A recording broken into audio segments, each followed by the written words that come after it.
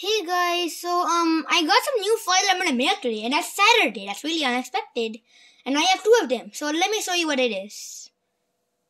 I'm gonna be reviewing the Simplex TrueAlert addressable remote horn. I think it's addressable.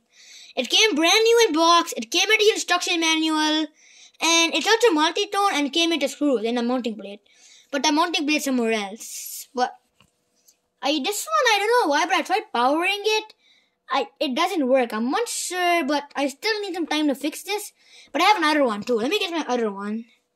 This one says dead, so it doesn't work. If it works, I may take the sticker off. Let me take it off. Right there, I took it off. So um, I have two of them. I have to go buy another one because this one didn't work. I think it's a problem with uh, the the alarm itself or it's one of these switches. I'm not sure.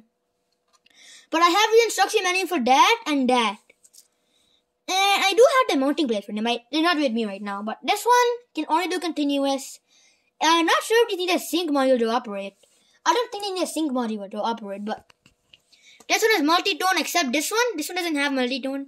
It does it is a standard TrueAlert tone. Like this one has a normal tone like the TrueAlert, but has many other tones. But I forgot the tones. It, it, it also has it also has a 520 hertz tone, and the other it has also other tones. But if I want to know all of the tones, I need to go to the instruction manual. But these are cool alarms. I can't test them. I don't know. Um, I don't want to put a mounting plate on this thing. If I put a mounting plate right now, it's gonna be like really hard taking off because I got it in the mail. It was extremely hard to remove the mounting plate. I don't know why it's so hard to remove the mounting plate, but these, excuse me, these alarms are pretty good. I think this one is two wire. Yeah, it's two wire. I, I was gonna buy another, I was gonna buy original TrueAlert, a normal TrueAlert with a strobe on it, but I just realized they're smart sync and I can't power them. But so I got these two. I got this one from Ontario for like fifty five dollars. I get actually um we actually returned the money back to the owner because it doesn't work. I'm not sure if it's a problem with the jumpers or something. This has to be a way to turn it on. I'm not honestly sure, but I'm still need some time to fix them.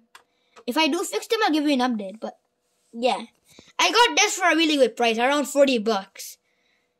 And the other tool that I wanted to buy had a strobe here and a horn over here. Like, you already know what this look like, but I wanted to get that, but I just found out they're smart sync, and I cannot get them. Cause I, I need a sync module to power them and or a simplex panel. But here's one fact about these TrueAlerts. Never power them in FWR, which is full wave rectified. It's it's in a harm. It'll harm these simplex TrueAlert devices, FWR, known as full wave rectified. It can harm some simplex devices, like the 9219. But there's a panel. What's the name? I think it's a Fire-Lite MS2. I'm not sure about the company, but the MS2 panel gives out FWR.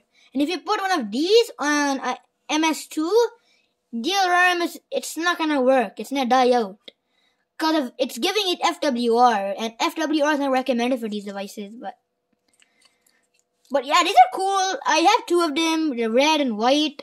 This one has multi-tone. This one doesn't. Here's a back. They look different, don't they? Oh, and yeah, the horn and this, this they look much. They look different. Um, I'm gonna try taking these plastic pieces out to show you what the horn looks like. Never mind, I can't take out the plastic pieces, but the horn in this one, the horn in there looks different than this one because this horn is like a looks like a regular tulip horn. It's yeah, I don't know how to explain, but yeah. So my friend in school told me he has these in his building. This one is in in his uh, complex apartment, so I decided to buy one and surprise him. But he said his apartment doesn't have it. But he showed me on a video call that his apartment has them. But they, I told him they have them. Like I mean, He's, I saw he, on a video call, he actually showed me that he had him, had it, but he said it's, he said they don't, ha- his building isn't, his apartment doesn't really have them. I'm so fast at stalking. So don't mind that, but I think his apartment uses speaker strobe TrueAlerts cause speaker TrueAlerts cause these come in speakers. Like, if you want to power the speaker version of them, you know, 70 volt, um, 70 volt amplifier. I was gonna get one of these, another one, but that was a speaker, and I can power speakers, but sorry for talk too fast. That's really all for this video, but I do have two travel batteries combined together, but I could power them, but I I'm not sure what the problem with them are, but these are pretty cool alarms. I would I would recommend you to buy these because they don't need a sync module to operate. I'm not sure if they need a sync module because someone had on them and he said they don't need a sync module to operate. So I don't really think these need a sync module to operate. But if you don't need a sync module to operate, I definitely recommend you to get this instead of a normal TrueAlerts. But it is a TrueAlert with a strobe and a horn that's free run. These are free run. There's also a horn strobe TrueAlert which is also free run. I'm not sure about the model number, but all the other TrueAlerts are smart sync. I wouldn't I wouldn't recommend you getting smart sync. Yeah, that's all for this video, guys. I hope you enjoyed.